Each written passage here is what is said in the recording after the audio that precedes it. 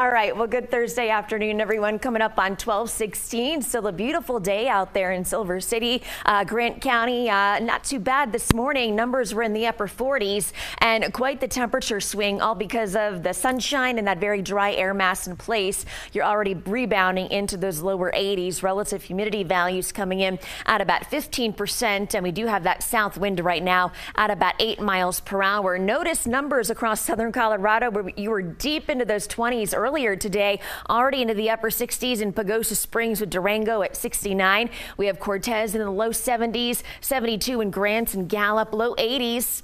Uh, from Silver City to Deming, you're close to 80 degrees at 79. And then we do have those low 70s in Ruidoso up in the higher elevations of the Sacramento Mountains with the mid 70s coming in across Santa Rosa. Las Vegas, you're at 70 degrees and Raton coming in at about 71. So compare these numbers to just where we were at 24 hours ago. And many locations are actually cooler. In fact, right here in Albuquerque, or I should say uh, Santa Fe, we're six degrees cooler compared to this time yesterday.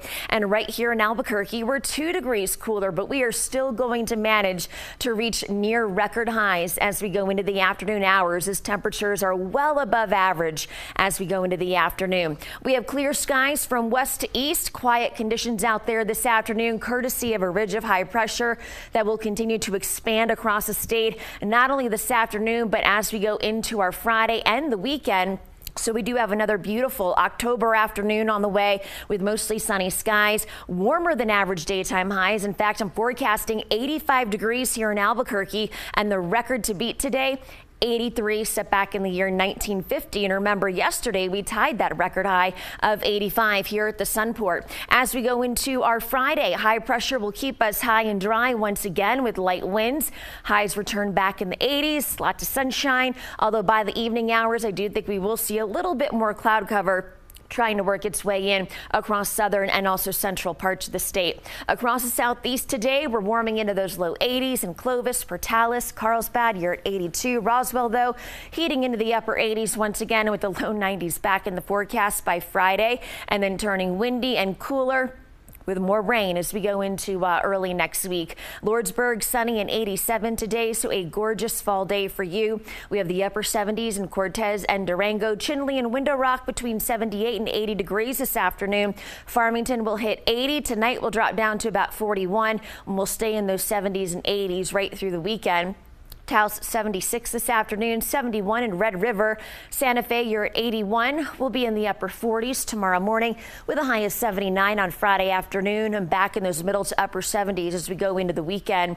Clayton just shy of that 80 degree mark, but Tucumcari will get back into those low 80s this afternoon with Roy at 77.